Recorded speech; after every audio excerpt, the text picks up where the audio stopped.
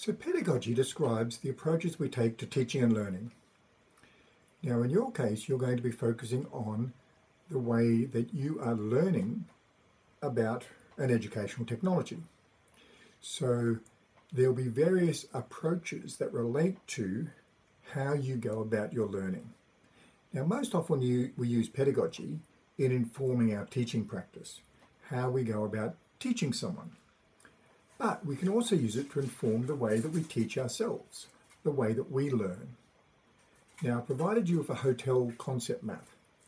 Now, this breaks down the various different pedagogical approaches, different concepts and philosophies, and it also includes the theorists and the discipline areas where these are grouped, be it coming from psychology or the learning sciences or philosophy.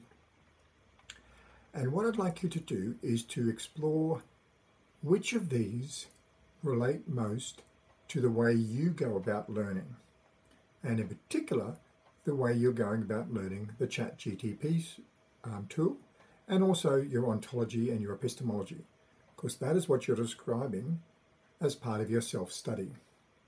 So explore the concept map, think about these various different approaches to learning and how they relate to educational technology course, we don't just use these to frame our own learning, but we also use them when we are researching.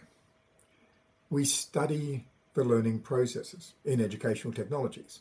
The education part of educational technologies is a significant element. So, a lot of educational technology research is exploring how we go about learning and how technology can support that learning process. And there are a range of theories that relate to that learning process.